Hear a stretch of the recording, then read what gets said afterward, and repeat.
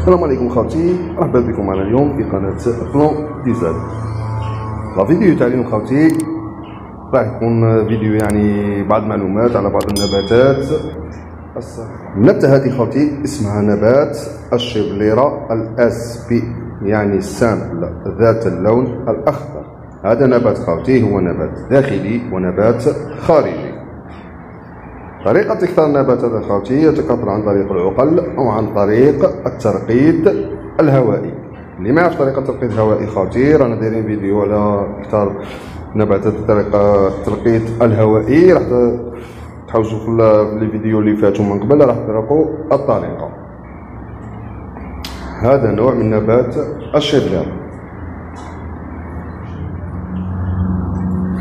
النوع الثاني هذا غطي واسمه نبات شيفليرا مثل النوع الأول لكن هذا شيفليرا الباناشي يعني الأوراق نتاعه تكون مختلطة باللون الأصفر والأخضر كما راكم تشوفوا فيها. هذه هي. أما فيما يخص طريقة الإكثار خاوتي نفس طريقة نبات الشيفليرا الأسبي يعني هادو نبتتين نفس النوع نفس طريقة الإكثار عن طريق العقل وكذلك عن طريق الترقيد الهوائي. وهي كذلك نبات داخلي وخارجي. هذا فيما يخص نبتة الشيفليرا. هذه نبتة الفيكوس بنجامينا الاسبي وفيها نوع ثاني وهي فيكوس باناجي.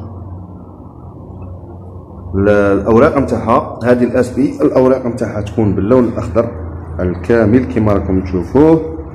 وفيها نوع ثاني باللون الأخضر والأبيض. حنا النبته هذه اللي متوفره عندنا وهي الفيكوس الاسبي بنجامينا. هذه هي عندنا هذا النوع برك وهو نبات داخلي تزييني كما راكم تشوفوا فيه. وهو عبارة عن شجيره تزيينية. هذا خوتي نبات الروزي اللي تعقلوا إلى اللي قمنا بعملية إكثاره عن طريق العقل. راكم تشوفوا ما شاء الله الله يبارك. راه خرج الورقات.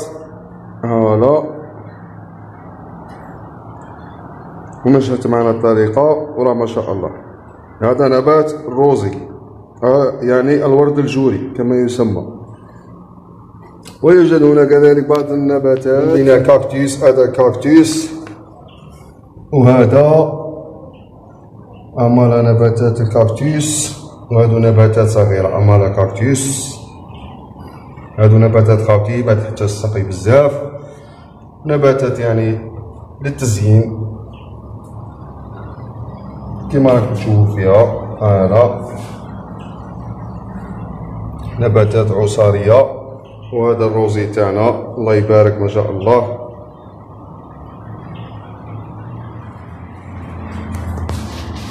هذه ماشي تاعنا خاوتي هذه جبناها هكا بالبوقات لأن الوردة تاعها هذيك صغيرة راه هذه جاية تفتح. هذه الوردة. هادو هما العقل اللي قمنا بغراسهم خاوتي كيما راكم تشوفوا فيه مامالا راهم خرجوا لنا أوراق صغيرة. الله يبارك. امالا هنا هادو هما العقل لا تشفاو عليهم. اللي قمنا بغراستهم كبروا شوية واللي خاصها نجو نبيعو له ها فوالا